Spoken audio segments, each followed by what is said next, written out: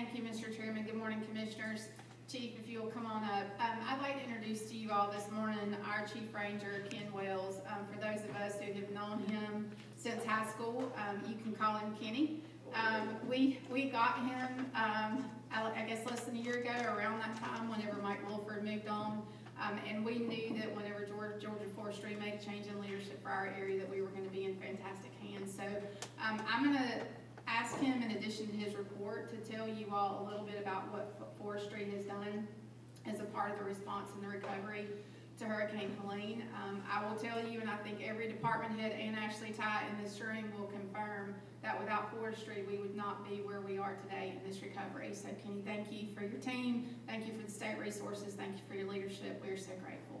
Thank y'all. Uh, Just another quick background to add on the page, I was born here in Lowndes County. I started my career with forestry in 2012, and spent two years as a tractor operator here in Lowndes County. And then the opportunity come for me to transfer to Clinch County to serve as a senior ranger there. So I spent the remainder of my career until April of this year serving in Clinch County. So to come from an extreme rural county that's all volunteer, it is, is quite amazing to come where, where there's people come to help when the call comes out. So it was a definite culture shock for me to come, but, uh, again, it's, it's been a nice transition and hope to finish out my career here, so. Um, the packet that we have for you guys, just a quick rundown on it. I am fully staffed at this time. The thirty-first of this month, I will have my senior ranger cross. He, he's completed his thirty years of service and he will be retiring from the state. So we'll be looking to refill. If you come on down, you'll look at our last year's average. So the average wildfire size for Lowndes County, even though I wasn't here, was roughly two and a half acres. And that's phenomenal for a response that you're getting from a fire department to help keep things down. So all of our weather forecast projected says that we're gonna go into a dry winter after the storms and all leave. So we look for that to kind of go up with our acreage and the amount of fires. The biggest thing that we're gonna be combating now, and the fire departments will, is the amount of blowdown that has come with this storm. Um, we have been out in the woods doing some assessments, so fighting wildfires was critical before, but it's gotten a lot worse now because we are not as able to get as close to it with the tractor suppression equipment as we could before because of the dangers of the amount of timber and the oversized stuff that's on the ground. It's, they, they don't move things like, like the public thinks it does, it just can't go through there, so that is something that we're looking at and, and taking very seriously as we move into our upcoming fire season and our control burns. Um, we do project for the debris burning to go up a little bit. We don't regulate yard debris burns anymore. Um, I know you guys have the first and third Saturday for the community, but with us not being able to shut everything off every time, we, we do project that to go up a little bit with the amount debris burning that's gonna be going on for the next months. Um, if you come on down, you'll see that we have it broke down as what was what as far as our fire responses. Years ago, it was always children playing, you don't hardly have any of that stuff anymore, I guess they, nobody goes outside, but six of the nineteen fires that we had were not permitted and resulted in suppression charges being issued. Uh, the page two, I'll run through right quick, this gets to an important section to me, and it goes back to my clerk tower operator that I do know the county helps fund half the first salary. Um, y'all can see the vital there of how important she is to me. Um, she issued eleven hundred and thirteen burn permits throughout the year, and that was for burn piles, site prep, and all that stuff. That's a tremendous load that it takes off of me and my guys to be available to respond for anything else. Um, I do have some things in work for the ACD that we've been working with the fire department to make a little bit easier on you guys. When the, when it was adopted for the air curtain destructor and doing away with surface burning, when the ordinance was accepted, there, there was a clause in there that I think got overlooked. It, it, it said metropolitan and one of the thirty-two burn ban counties. Well, it's not and or, it's and, so you have to meet both both of the criteria for you to have to force an ACD. So it'll help lighten the load on, on y'all's RFD guys going out and inspecting this stuff and, and hopefully lighten to where some of these people can get to work and not be such the burden of, of having to inspect everything, but we're working on that as well. Uh, Again, I heard the word inflation a few minutes ago. Um, on our our rates, we have went up since then. Our, our first hour is two, is two sixty an hour for the tractor operation, then it comes back down to one forty, so. And then the firefighter personnel, just like y'all, everything has to go up, so. Oh. Page four is not too important. Page five just breaks down for our forest management, how we, uh, how we help the landowners in Lowndes County with EQIP programs and CRPs. We are getting a lot of calls about timber damage. Um, the FSA office does have programs opening up. They have to go in and complete the applications at the local FSA office. And then they'll assign uh, a forester from us, that's free of charge from us. They'll come out and assess to see if we can get these folks some help with their timber damage. Where is that office? On the Highway eighty-four, the old fairgrounds. FSA office there is. Yep. Oh, And again, it's, it's a little bit of paperwork that you have to sit down and and physically fill out and submit, and they'll get back to us and we'll get a forester assigned. Um, we still do a lot of forest education in the school programs here. We have a lot of those lined up, um, with our Smokey the Bear and, and Earth Days and all that good stuff. That's pretty much a quick run-through of what happened, uh, the past physical year, even though I was only here in- from April till the end of June. But if anybody has any questions for that part, I'll be glad to try to fill in or answer. I like to say, Any I Mr. Wells?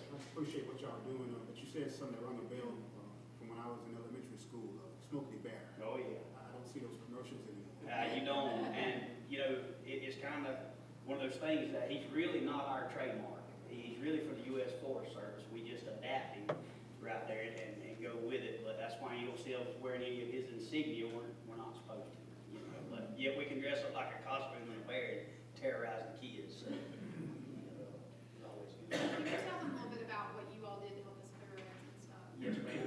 So, just like everyone else, we were going to Tye's meetings down at the EOC and, you know, forestry has always responded to natural disasters and wildfires. And for ones that don't know, every year, we send resources all over the United States. We liable to have people in Oregon or Utah fighting the big wildfires that you see on TV. Um, it's a volunteer basis. We do get paid, but we all volunteer to go. Um, it's just a way for us to make some extra. So back when Katrina hit, um, in Louisiana, we sent resources there and, and, and it was devastating then. And I, try to tell everybody, you don't get to see the true colors of humanity till they've been out of power for four or five days. And then, then you get to see everybody's true colors. I personally don't like living like the Amish. I'm proud for them, but I like the electricity. So we were projecting this thing to not be as bad like everyone else as it, as it was, and it was supposed to turn, then it took that job. Well, again, a county that's got everything in order, y'all's fire department and leaders, they were already requesting equipment from Georgia Forestry that we had on standby. We couldn't give it to y'all, but we had it sitting there in the pocket for if and when it happened, it could come here first. And, and to see that response is, is really, really amazing when that stuff rolls in. So the night of the storm, just like you guys, we all went to bed thinking it wasn't gonna be that bad. Well, look here, it turned really bad. I live in Naylor, and I believe it come straight to me, because it, it was horrible. One So, thirty in the morning. yes, sir. So when the storm passed, um, just like any of your fire department workers, we knew what was coming. Started cutting my way out my driveway. I live at Good Hope, got Good Hope open from Good Hope to Old State so the people could get out. Daylight come, we realized we had no phone communication. Couldn't get a hold of nobody. Tried to make my way to my employee's house to get them out, we couldn't get there. It just looked like a, a, a tremendous game of Lincoln logs all over the highways, y'all know, so. Couldn't get a hold of anybody, couldn't get a hold of Billy, Paige was out, didn't know Miss Compass at the time. Uh, the only thing I knew was to get to the office and get equipment on the ground. So I went to my familiar grounds, which was Naylor. We took the equipment out there and unloaded dozers on the side of the highway and just started clearing roads,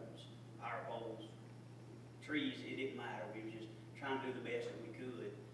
And that was on Friday morning. Saturday, I think two of our SAL teams rolled in, two eight-man SAL teams with a skid steer per team. And they, by this time, they had maps and stuff, so they divided and we gridded, um, pretty much from the Alapaha River all the way to Inner Perimeter Road from forty-one to Lakeland right highway.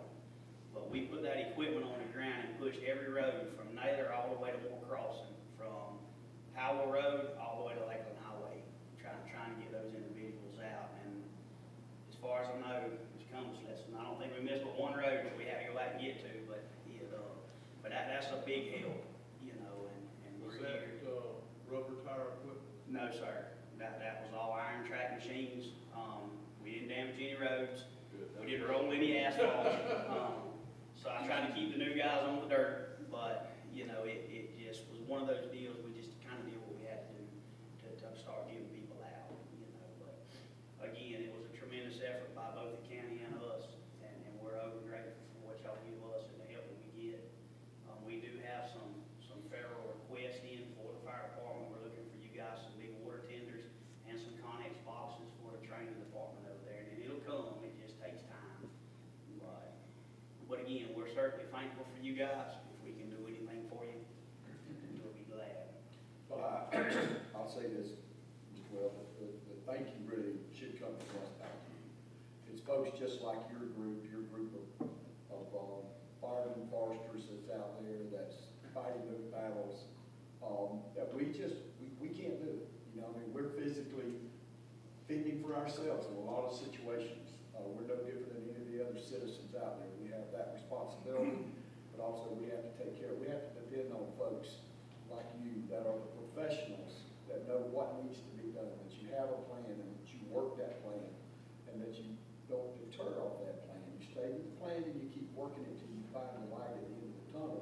And that really is what's come out of this, is the goodness that all of the agencies that I have been involved in, not just with forestry, but all agencies, everybody is trying their best to work together and pull the wagon in the same direction. So again, my compliment is back to you and, and your workforce and what y'all do, did for Lowndes County and very much